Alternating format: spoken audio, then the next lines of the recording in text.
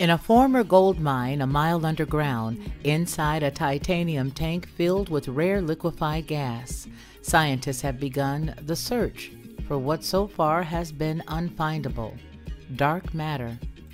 Scientists are pretty sure the invisible stuff makes up most of the universe's mass and say we wouldn't be here without it, but they don't know what it is. The race to solve this enormous mystery has brought one team to the depths under Lead, South Dakota. The question for scientists is basic, says Kevin Lesko, a physicist at Lawrence Berkeley National Laboratory. He continues What is this great place I live in? Right now, 95% of it is a mystery, he says. The idea that a mile of dirt and rock, a giant tank, and a second tank in the purest titanium in the world will block nearly all the cosmic rays and particles that zip around and through all of us every day. But dark matter particles, scientists think, can avoid those obstacles.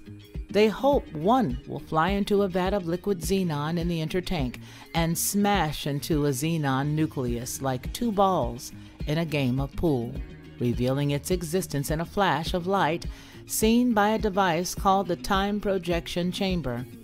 Scientists announced Thursday that the five year, $60 million search finally got underway two months ago after a delay caused by the COVID 19 pandemic. So far, the device has found nothing, at least no dark matter.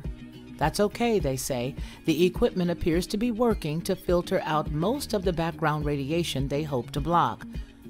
To search for this rare type of interaction, job number one is to get rid of all the ordinary sources of radiation, which would overwhelm the experiment, said University of Maryland physicist Carter Hall.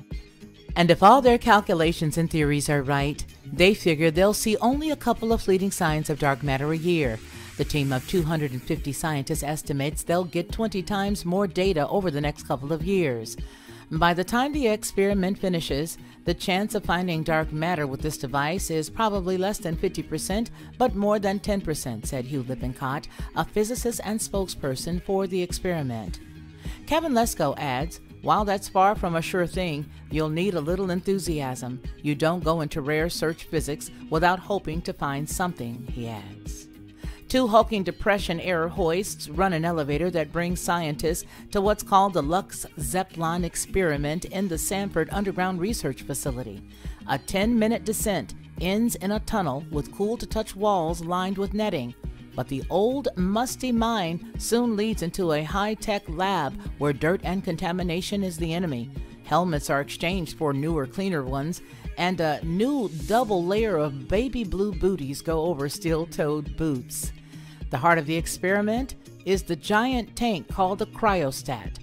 Jeff Cherwinka, the lead engineer, said in December of 2019's tour before the device was closed and filled, he says it was like a thermos made of uh, perhaps the purest titanium in the world, designed to keep the liquid xenon cold and keep the background radiation to a minimum. Xenon is special explained experiment physicist coordinator Aaron Manalaysay. Because it allows researchers to see if a collision is with one of its electrons or with its nucleus. If something hits a nucleus, it's more likely to be the dark matter that everyone is looking for, he said. The scientists tried a similar, smaller experiment here a few years ago.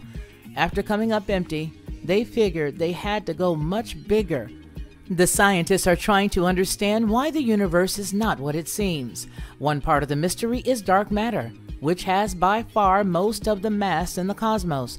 Astronomers know it's there because when they measure the stars and other regular matter in galaxies, they find that there's not nearly enough gravity to hold these clusters together.